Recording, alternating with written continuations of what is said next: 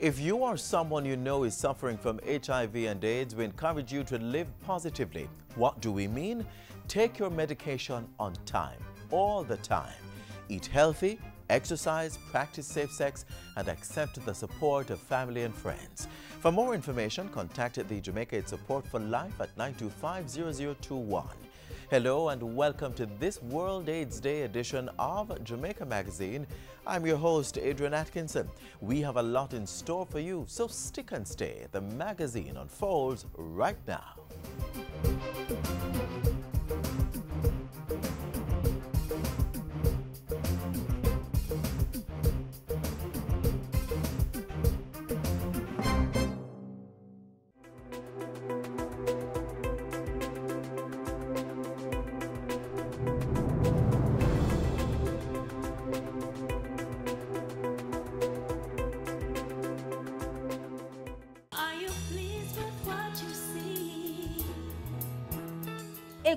No matter what you say, you follow all of the parenting rules and all of the parenting tips, and your children are going to go out there and still do something stupid.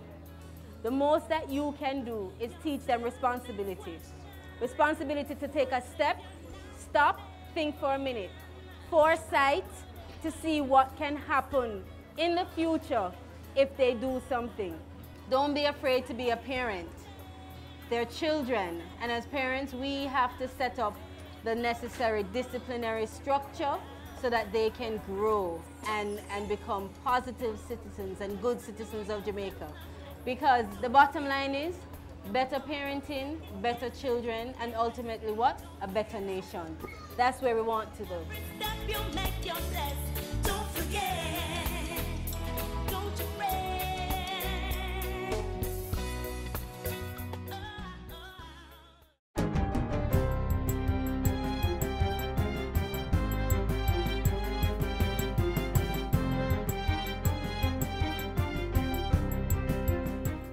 I'm Tamara McHale and this is your JIS news for Monday, December 1. The Education Ministry says it has finalized arrangements to pay all outstanding salary arrears to teachers in bursar paid schools. The ministry says it provided $90.1 million to the 26 institutions last Friday.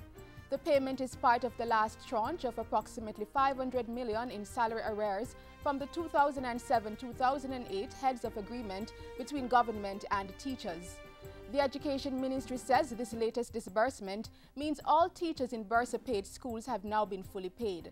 In addition, the ministry says it will complete payment this week for salary arrears due to a number of teachers currently attached to government paid institutions as well as those who have retired or resigned.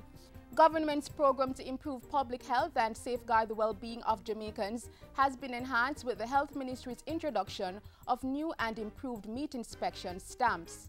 Manufactured at a cost of $3.5 million, 400 stamps were recently unveiled during a ceremony at the Juicy Patties headquarters in Clarendon. The stamps are uniquely designed to correspond with the registration numbers of each of the ministry's 400 public health inspectors. Those officers will use them in the inspection and stamping of meat products processed from legally slaughtered animals to verify their safety for public consumption. We have to ensure that meat and meat products prepared for human consumption are safe. This will most certainly improve accountability of the meat inspectors and traceability of meat and meat products. Production of the new stamps is in line with the country's national food safety policy, specifically the meat hygiene program. They will also assist in government's anti-predial larceny effort. All of the stamps currently in use will be recalled and destroyed by the Ministry of Health. Jamaicans are being encouraged to participate in an important survey that's currently being done to determine the prevalence of persons suffering from chronic respiratory problems. The Burden of Obstructive Lung Disease Bold Jamaica project is being done as part of an international project. It involves a partnership by the University of the West Indies, the Statistical Institute of Jamaica, and Imperial College partners in the United Kingdom. Principal investigator for the local study, Dr. Althea Aquart Stewart, says there's nothing to fear from the simple test that is being administered during the study. It's a random survey where one, your household may be selected in the sample and I'm encouraging people who have been selected in the sample, please come out, participate, answer your questionnaires. All your information is confidential. The study targets persons aged 18 to 39 in 84 geographic areas across the country. Spirometry, a breathing test, is also being administered to persons over 40 years to see whether they have chronic obstructive pulmonary disease, COPD. COPD is a preventable disease that involves the obstruction of airflow, usually caused by air pollutants and cigarette smoke. The Ministry of Science, Technology, Energy and Mining is kicking off its public sector energy champion competition this month. The competition is designed to promote a culture of energy conservation in the public sector. Participating entities will see the benefits both in reduced electric consumption and in terms of dollar savings. We expect that public sector enterprises will be able to save at a minimum 5% of the electricity consumption just by changing behavior. Over 70 ministries, agencies and departments, as well as individual public servants within these entities will be participating. Judging covers energy conservation interventions within organizations and energy efficiency awareness for individuals. The competition will wrap up in May 2015.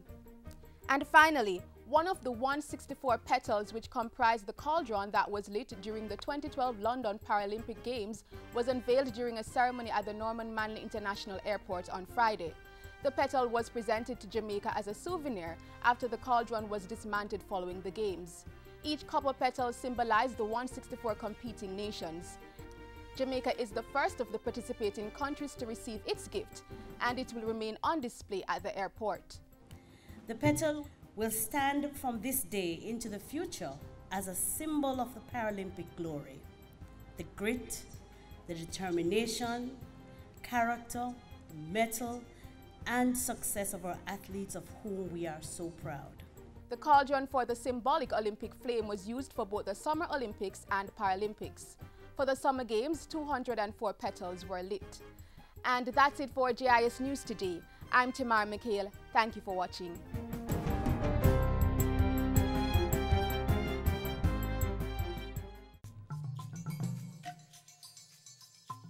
The Ebola virus is transmitted through direct contact with an infected person's blood or other bodily fluids like saliva, urine, stool, and semen. Symptoms of Ebola include sudden fever, intense weakness, muscle pain, headache, and sore throat. This may be followed by vomiting, diarrhea, and rash, and in some cases, both internal and external bleeding, leading to death. Protect yourself. Avoid travel to Ebola affected countries. Avoid contact with infected persons. Don't touch the body of someone who has died from Ebola. Wash hands frequently with soap and water and use an alcohol based hand sanitizer. To know more, call 1 888 663 5683. From an update on government's national CHIKV prevention campaign to opening the debate on the Caribbean Court of Justice bill in Parliament, Prime Minister Portia Simpson Miller and her team were kept busy this past week. Those and other stories come your way next.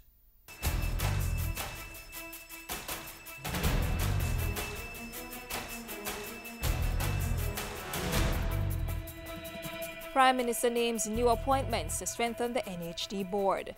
Putting an end to gender-based violence, the Prime Minister calls for a united effort. And a basic school in Whitfield Town benefits from $11 million expansion.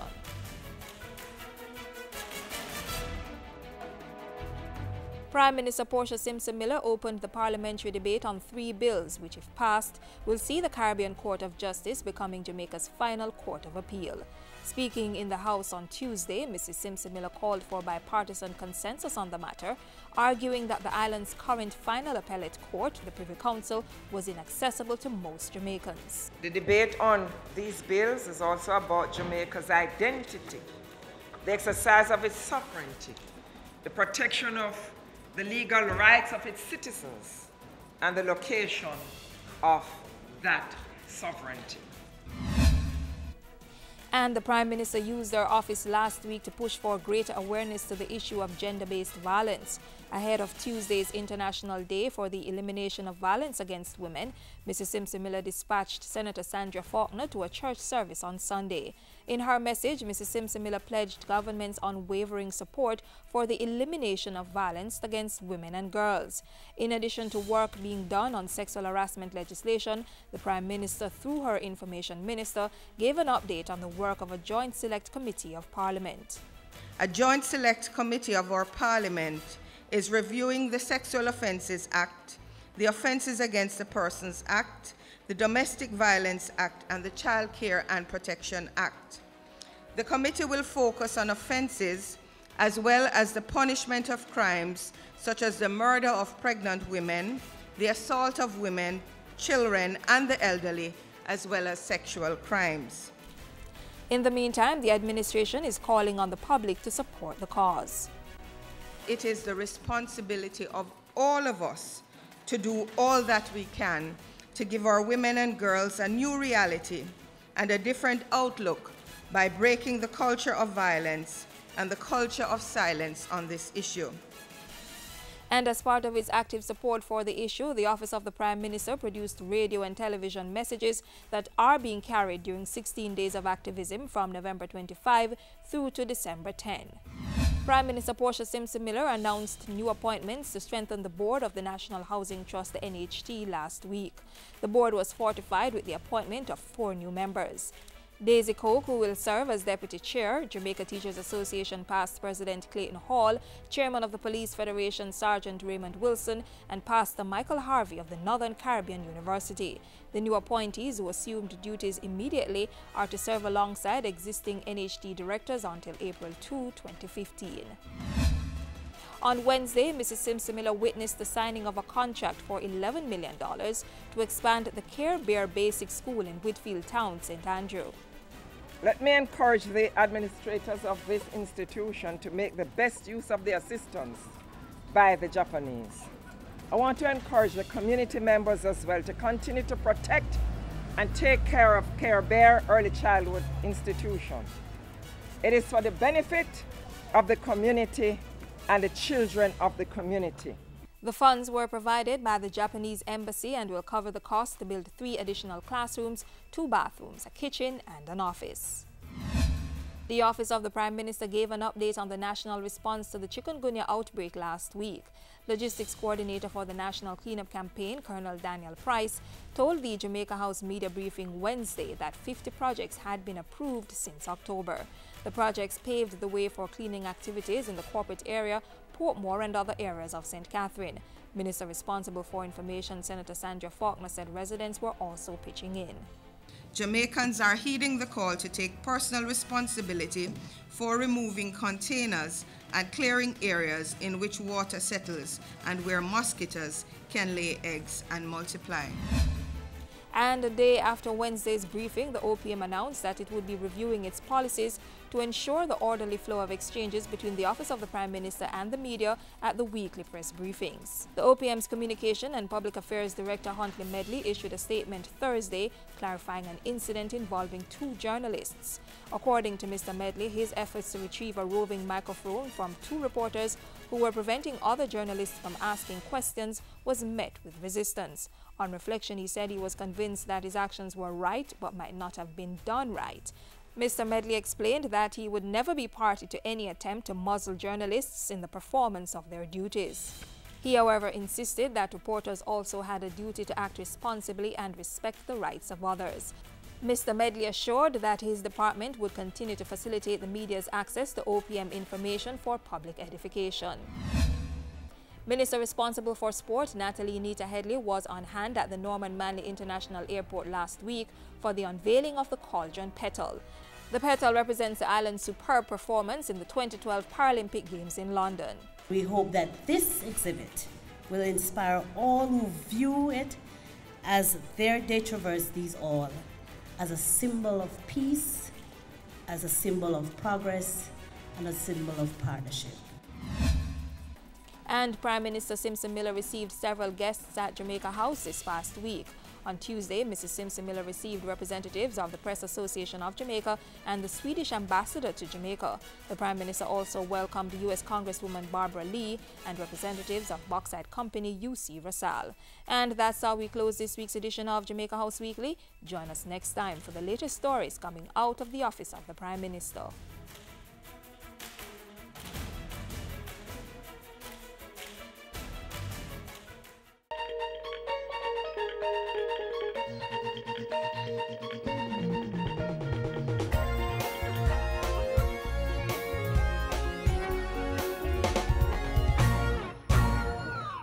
Welcome to the FSC Minute. I am Nadine Newsom. Today we continue to explore anti-money laundering and its implications for the FSC regulated sectors. Joining me is Larice Edwards Brown, Director of Investigations and Enforcement at the FSC. Welcome to the FSC Minute, Larice. Thank you for having me, Nadine. Larice, what does the FSC do to ensure that the insurance, securities, and pensions industries comply with anti-money laundering legislations? The Financial Services Commission issues guidelines to these sectors, the insurance sector, pension sector, and the securities sector. Now, we try to ensure that at a minimum, these entities have uh, controls in place that will prevent them from being used as conduits for money laundering or for terrorist financing.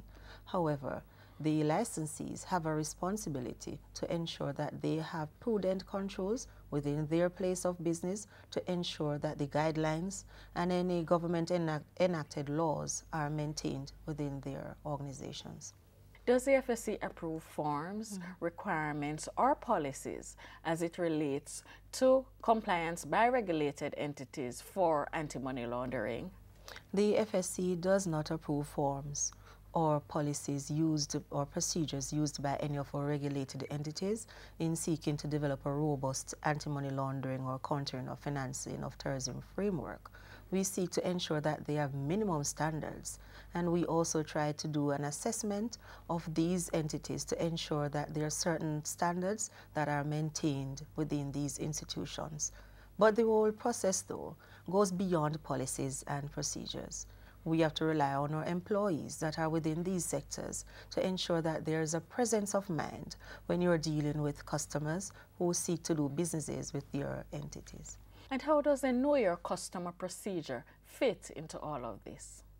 The know your customer procedure is very relevant. It helps the employee in the financial institution and also the compliance officer in the institution to understand the employee, know who is it that they're dealing with. So when a transaction seemingly is outside of the profile of that uh, customer, then they can make certain decisions. That includes making a report to the Financial Investigations Division. Thank you, Larice. My guest today was Larice Edwards Brown, Director of Investigations and Enforcement at the FSC. For the FSC Minute, I am Nadine Newsom.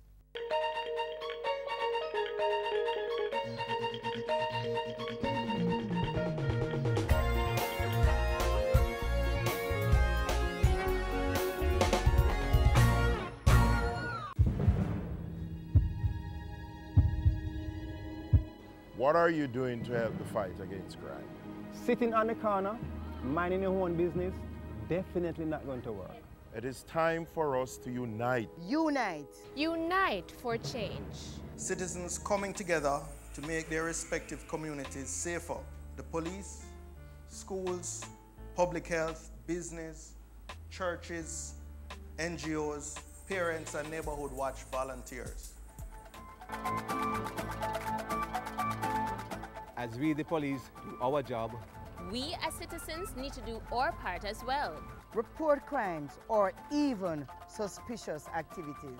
Let's all work together as one united front against crime. And make Jamaica the place of choice to live, work, raise families, and do business.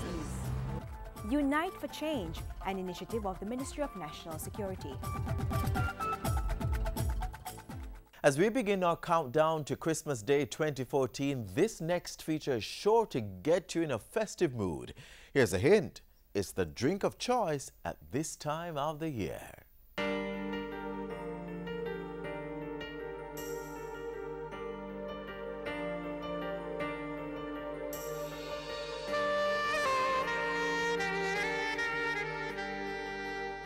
For many Christians around the world, Christmas is a time when they give thanks and celebrate the birth of Jesus. In Jamaica, Christmas is also a time to eat and be merry. It is usually at this time of the year that many persons prepare a feast fit for a king for their families, usually consisting of mouth-watering foods such as rice and gungo peas, roasted chicken, ham, Christmas cake, and best of all, sorrel. Sorrel has always been a popular Caribbean drink during the Christmas season. Its unique flavor and bright red color adds to the meal experience. The calyx-covered fruits are brewed in water to make a refreshing cranberry-colored tea. It's also used in salads, jams, puddings, and syrups. Sorrel contains a wide range of vitamins and minerals, including vitamin C, calcium, and riboflavin, and other nutrients. It is an antioxidant and fights anti-cancer cells and is highly known for its B1 compounds, which provides a calming effect after it is consumed. Sorrel has several other properties. It soothes dry skin, purges the bowel, reduces inflammation or swelling. Mixed with salt, pepper, and molasses, sorrel can cure biliousness. A lotion made from the leaves can also be used on sores and wounds. It also stimulates digestion and improves appetite. Sorrel was brought to Jamaica in 1707 through the African slave trade. It is a plant that is dated to as far back as the 16th century and was first grown in India, Malaysia, and in Niger, Africa. Today it is grown year-round in Africa and widely cultivated throughout tropical and subtropical regions around the globe. So this Christmas, while eating all the Christmas cake and ham, remember to have some sorrel. It is not only a refreshing part of Jamaica's Christmas culture, but it has a wide range of health benefits.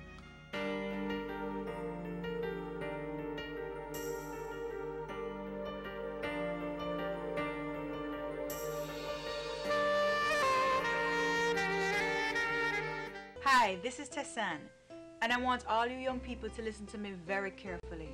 Crime doesn't pay. You can do so much with your life. Don't throw it away in some gang. Stay in school and work hard for what it is you want. It's up to you. Your future will be determined by the decisions you make.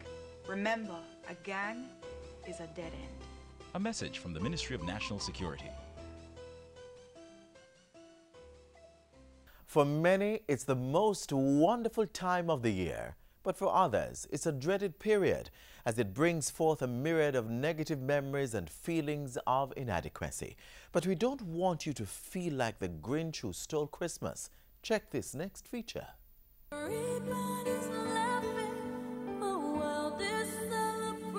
Just want to remind persons that there are some very simple things that we can do just to survive the holidays. And it doesn't take a lot of money. Reach out. I think sometimes the reality in life is that in giving, we receive. And it doesn't necessarily mean that you have to travel from Kingston to Montego Bay to visit somebody. You can pick up the phone. That simple telephone call can make a difference in somebody's life. Sending a card, I mean, that's it, a traditional, age-old, I mean, practice. Encourage us. Continue to do the things that we've always been taught to do. And I encourage persons for Christmas Day, don't remain in your house and wallow in self-pity. Um, do something, yes? I mean, we have to take control of our own lives and our own happiness and don't expect other persons to do that for us. At this time of the year, there are lots of activities that are going on that don't necessarily demand money or call for excessive spending. I mean, there are lots of fears going on.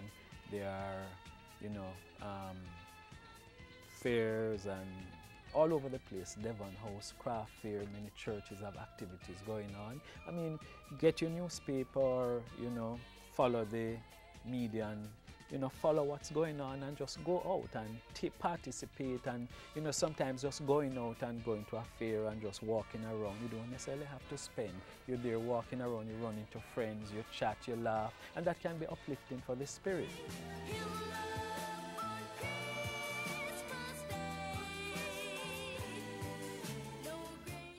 So go ahead and embrace the holiday spirit.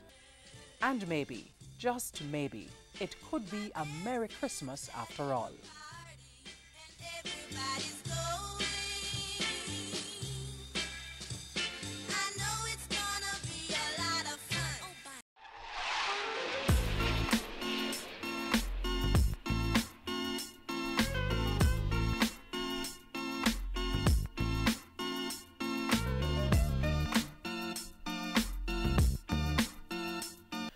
And that's our show. We value your feedback, so please continue to send your comments and queries to Jamaica Magazine at jis.gov.jm. Want to be in the know on all the positive vibrations coming from Jamaica? Join us on Facebook, add us on Twitter, like our YouTube page, or visit our website, jis.gov.jm. On behalf of the entire team here at the JIS, I'm Adrian Atkinson. Thank you for watching. This has been a production of the Jamaica Information Service, the voice of Jamaica.